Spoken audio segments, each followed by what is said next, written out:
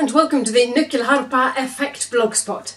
Today I'm going to do Adam's apple seed and I have taught this previously in the key of A major but I also teach this in the key of G major. So it goes like this. One, two, three, four.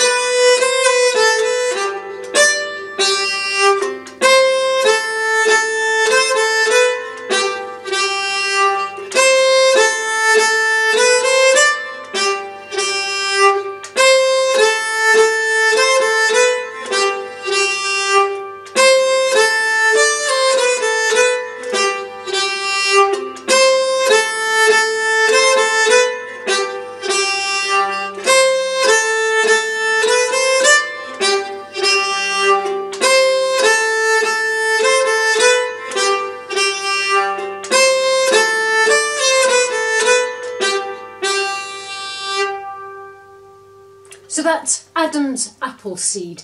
And you've probably noticed I'm basically bowing everything out, except when there are four quavers together, I'm going slur apart, like this. So it's down, up, down.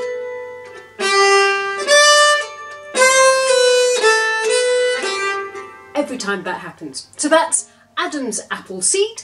The dots are on the blog, so check that out. Don't forget to subscribe. See you again next time.